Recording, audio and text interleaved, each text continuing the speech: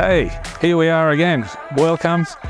We finished the cinema room, so it took about maybe three weeks after you were here last time. Let's show you what we've done.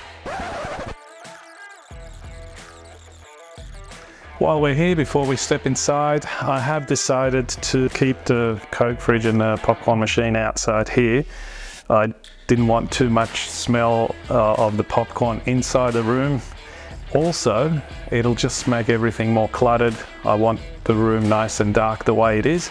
So I will eventually end up redoing all this and making it all inbuilt with a bench space and everything properly. Oh yeah, the door. Remember I was I extended the door so there's these two lines. From outside here it's white but from over there it's black. And um, so let's go inside so I can show you what this looks like.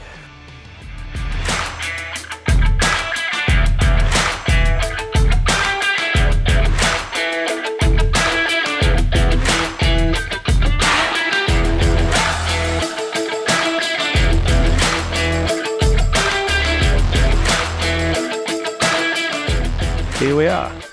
This is the room, this is the final product. So the Gyprock itself, or plasterboard, is the sound shield. So it's got the extra um, density for not letting sound escape or blocking the sound going outside of this room. Underneath the plasterboard, we have the lead, the vinyl that we got from Digital Cinema, the MLV stuff. Um, so that's another layer of protection that actually blocks the sound even more than the Sound Shield plasterboard. So if you want, I can give you a demo. I'm not sure on the video, might not pick up enough when we play this at say 70 uh, decibels. You can walk around a house and uh, so you can tell the difference, how much it blocks the sound. Obviously the low frequencies like bass um, or the subs that's going to go through. It's a vibration, so you can't you can't block them completely. So people don't know what's beyond this, and then the speakers as well. You see, they're recessed, and I didn't want to do recess, and this is the issue I had. So I wanted at the sitting height of each recliner, I wanted the speakers to be kind of at ear height or close to it. So that's why that's why this speaker's here and the other one's a little bit higher because I've got two steps here. So again, speaker um, covers, they are paintable. I know I need to do another coat, that's fine. So there's the speaker. These are very easy, the Klipsch Pro range, they're very easy to install.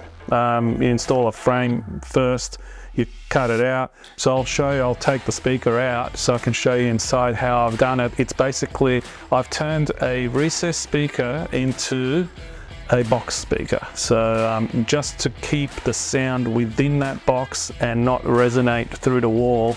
And that's where, where um, the sound quality of recessed speakers diminishes. So you get a frame and then you get the middle part which is just four screws and it clicks open, take it out and, and, and I'll show you inside what it looks like. Electrical wise, I put a black non-shiny, which is a Horizon color from Clipsal, uh, one of their Saturn Zen switches. So top two do the bulkhead lights, uh, these ones do the step lights and the fiber optic for the step. This one does the panels, the bottom does the helmet LED lighting and this one does the star lighting and the shooting star. So we have the absorption panels everywhere. So as I said in the last one when we were building, these are the absorption panels. So two of them picking up sound bouncing from the surround speakers from that side. Two of the other ones doing the same thing from this side. The two at the back wall, they're capturing everything that's coming from the front. I've got a couple of bigger ones at the front. When you're sitting on a recliner, you have smooth surfaces everywhere. Or if you're watching from up here and no one's watching down there, you've got all these smooth surfaces. So I want to design, like get them custom made, some really fluffy covers that cover everything. So I want all the sound to be trapped. I don't want any echo or rebound, even though it's, it's pretty good. Going up to the projector, this is a interesting one. I ended up buying Originally the projector I was I wanted to get, they kind of discontinued and I'm glad that I didn't get it because I wouldn't get it anyway because it only came in white. Epson's flagship model, this is a 12,000 model, comes in black and its competitor, uh, comparing the specs to Sony, this has all automatic shutter, electronic setting up of the screen, and it does 4K at 120 frames per second. I know that for say my boys that would be not enough in frame rate, but for me that's that's phenomenal for playing PlayStation or Call of Duty or one of those faster games on there.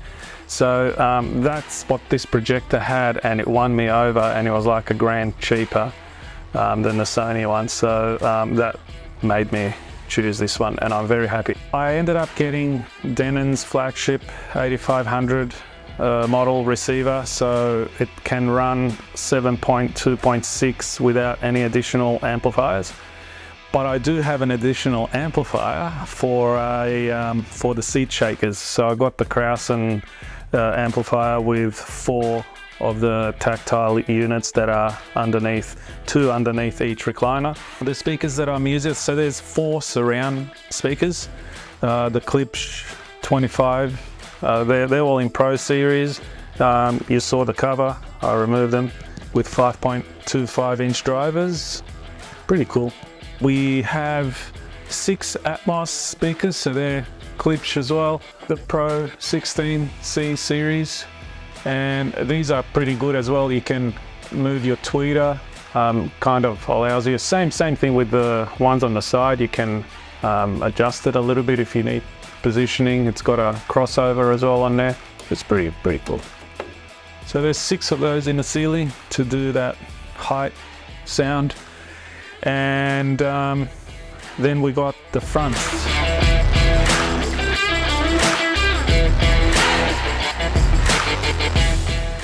So here is my front speaker setup. Uh, obviously, as you saw in the during construction, I was in two minds whether I go recessed or box speakers. Box speakers are always better quality since I would have to have the subs anyway out in a box. I had no room to put subs into the wall because I didn't want to build a wall out to fit them. So um, ended up going with fronts um, as well. Uh, so the front left, right and center uh, Klipsch, the THX 6000 series. Pretty cool, pretty strong speaker. Very, very good. Have the subwoofers. So these are the Sunfire 12 inch. I didn't want to go anything lower than 12 inch because it won't be enough shaking. so 12 inch minimum. And the next the bigger one than that would have kind of encroached onto the screen, so it had to be 12 inch. So that's a Carson 140 inch screen, HDR and ultra high contrast, which is perfect for this kind of projector. Uh, the projector itself is very bright, so the the brightness that you lose on a high contrast screen or HDR screen makes up and it's actually I'm still running at 75% brightness I'm, I'm loving it it's just it's I'm glad that I went Carson. I hope you guys liked um, this setup and I hope that my system, my design can help you or inspire you to come up with something as well uh, from your end. Uh, this video is on the Digital Cinema YouTube channel. I will jump on there from time to time and check um, if anyone has any questions. You can just ask in the comments and when I see them I'll get to them, help you out or uh, give any advice or take advice as well. Thank you.